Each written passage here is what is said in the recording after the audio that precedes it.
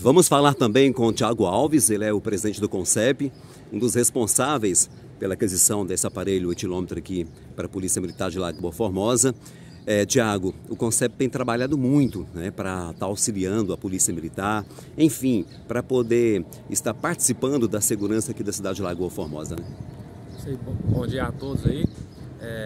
É, isso aí mesmo, né? A gente está aí à frente do CONCEP, que é o Conselho Comunitário de Segurança Pública de Lagoa Formosa.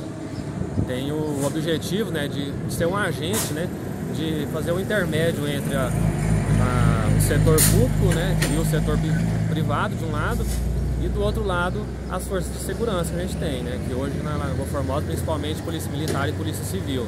E, e outros que possam vir a estar tá é, promovendo aí, né, melhor segurança, prevenção, né, de, de crimes ou, ou elucidação de crimes que venham a acontecer, né. Tiago, com, com isso, vocês viram aí é, a necessidade, né, falta desse aparelho que ela fazia aqui para a Polícia Militar de Lagoa Formosa. Como a gente conversava ainda há pouco com o tenente, talvez tinha ali uma ocasião, uma situação que deixava até passar porque não tinha o etilômetro e para buscar aí junto à Polícia Militar Rodoviária, talvez a polícia não estava nem é, é, no momento aqui para o lado de cá, na região, e acabava que não tinha como fazer o teste ali do etilômetro. Agora vai facilitar tudo isso para a polícia e principalmente vai trazer muito mais segurança para os motoristas de Lagoa Formosa, né?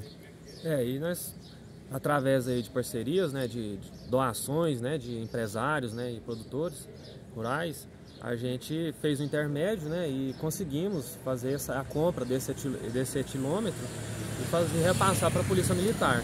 Será uma ferramenta fundamental para estar tá prevenindo né, alguns danos futuros, né, algum, é, pode ser algum crime né, ou alguma, é, algum acontecimento, algum fato que talvez é, que se acontecer pode, pode ter é, um resultado, uma, alguma morte, né? algo assim, um dano maior. Né? Então, isso aí tudo que for segurança pública, né? a gente precisa de, de ferramentas, né? a gente, ferramenta que tiver, a gente precisa de estar tá, é, tentando buscar aí, né? equipando a Polícia Militar e Polícia Civil, para eles fazer o trabalho deles da melhor forma possível.